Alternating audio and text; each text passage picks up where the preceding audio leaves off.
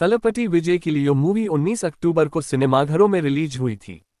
लोकेश कनगराज के डायरेक्शन में बनी यह फ़िल्म अभी भी बॉक्स ऑफ़िस पर शानदार कमाई कर रही है। और वहीं यह मूवी कॉलीवुड की हाईएस्ट ओपनर फ़िल्म बन गई है। इसने पहले दिन 140 करोड़ की ओपनिंग लेके जेलर, अधिपुरुष और जवान का रिकॉर्ड ध्वस्त कर डाला है। वहीं आज हम जानेंगे कि यह फ़िल्म अपने 19वें दिन कितनी कलेक्शन की है।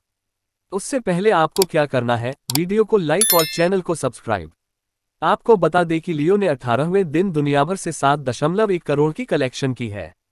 इसी के साथ लियो ने शुरुआती 18 दिनों में वर्ल्ड वाइड पाँच करोड़ की कलेक्शन कर ली थी। वहीं यह मूवी 19वें दिन इंडिया से एक दशमलव छह पाँच करोड़ का नेट कलेक्शन किया है। वहीं इसका ग्रॉस कलेक्शन एक दशमलव नौ पाँच करोड़ बनता है, और ओवरसीज से लगभग एक करोड़ का कलेक्शन किया है। इसी के साथ लियो मूवी अपने 19वें दिन वर्ल्ड वाइड दो दशमलव नौ पाँच करोड़ का कलेक्शन किया है। वहीं यह मूवी शुरुआती 19 दिनों में इंडिया से तीन सौ तीस दशमलव चार करोड़ की कलेक्शन कर चुकी है।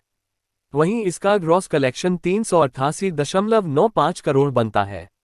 और ओवरसीज से शुरुआती 19 दिनों में एक सौ अट्ठासी करोड़ का कलेक्शन किया है। इसी के साथ लियो मूवी शुरुआती 19 दिनों में दुनियाभर से पाँच सौ छिहत्तर दशमलव नौ पाँच करोड़ का कलेक्शन कर लिया है। हालाँकि आपको क्या लगता है, यह मूवी लाइफ टाइम कितनी कलेक्शन कर सकती है? अपनी राय कमेंट में ज़रूर बताएँ। और ऐसे ही रिलेटेड अपडेट्स पाने के लिए हमारे चैनल को सब्सक्राइब कर लीजिए। धन्यवाद।